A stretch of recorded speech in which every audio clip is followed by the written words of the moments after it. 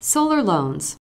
If you prefer not to spend the upfront money to install your solar panel system, solar loans are a great option for you. They allow you to finance the entire cost of your system. With a loan, you'll own your system and you'll be entitled to all rebates, tax credits, and other incentives. These benefits allow you to maximize the return on your investment in solar. There are two types of solar loans secured and unsecured. With both types, there are zero down options, so you won't have to put any money down. Regardless of whether you use a secured or unsecured loan, your monthly loan payments are likely to be less than your current electric bill, so you will start saving money right away without incurring any upfront costs.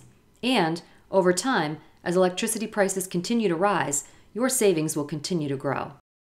The most common form of secured loans are home equity loans or home equity lines of credit, sometimes referred to as a second mortgage. With this type of loan, you borrow against the equity you've built in your home your home serves as collateral. These loans have favorable terms and the lowest interest rates. Additionally, the interest on the loan is tax deductible. But if for some reason you were to default on the loan, the bank has the option to foreclose on your home. A second very similar type of loan is an FHA Title I secured loan. FHA Title I loans are guaranteed by the government. You would still use your home as collateral. These loans have favorable terms and low interest rates.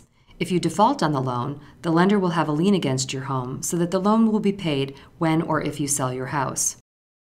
Your other option is an unsecured loan. These loans do not require any collateral. This makes them riskier for the lender, and that risk is reflected in the higher interest rate.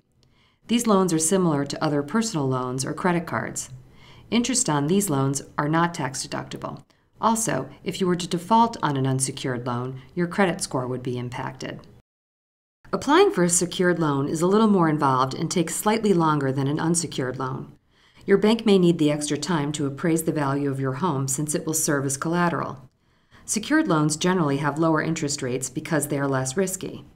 Lower interest rates translate to lower monthly payments, and you'll be able to deduct the interest from a secured loan from your taxable income.